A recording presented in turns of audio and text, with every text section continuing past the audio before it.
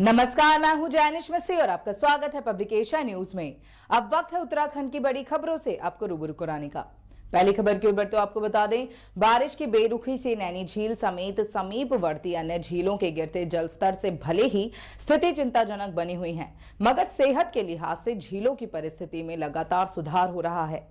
इन झीलों में पंतनगर विश्वविद्यालय के मत्स्य विभाग की ओर से किए जा रहे कार्यों और अध्ययनों में संतोषजनक आंकड़े सामने आए हैं।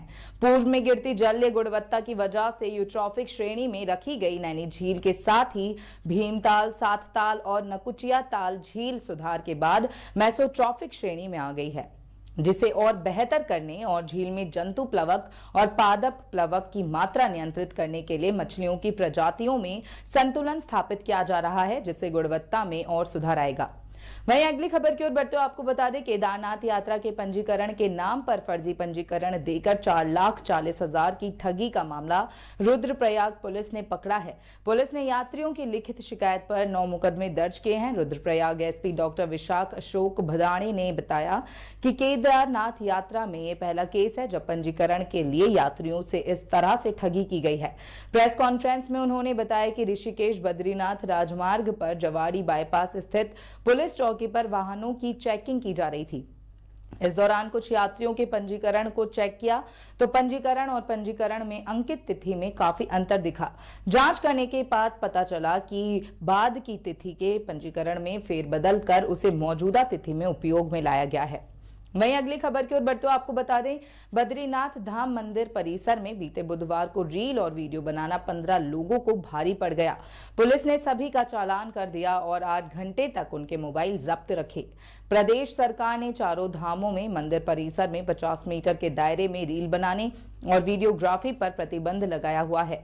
बुधवार को बद्रीनाथ मंदिर परिसर में मोबाइल से रील और वीडियो बनाते हुए पुलिस ने 15 यात्रियों को पकड़ा। पुलिस ने सभी के मोबाइल जब्त कर लिए। करीब आठ घंटे बाद सबका 500-500 रुपए का चालान कर मोबाइल लौटा दिए।